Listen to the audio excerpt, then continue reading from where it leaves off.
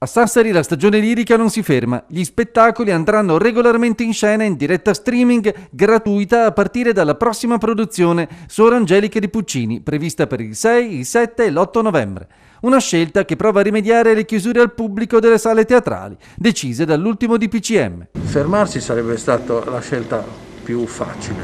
Noi abbiamo scelto la via più scomoda, cioè quella di continuare per onorare i contratti eh, rispettando così i diritti dei lavoratori dello spettacolo. La decisione del Consiglio d'amministrazione dell'ente Maria Elisa De Carolis salvaguardia i contratti già firmati dal personale tecnico e artistico, ridando così dignità a una categoria spesso considerata superflua. Certo, i lavoratori dello spettacolo hanno famiglia, mangiano come tutti gli altri e in più c'è anche l'aggravante del fatto che eh, i lavoratori dello spettacolo sostengono la cultura che in questo momento viene messa negli ultimi posti dei valori. Il Covid incide pesantemente anche sull'atmosfera di chi lavora in teatro. C'è paura per il Covid o no?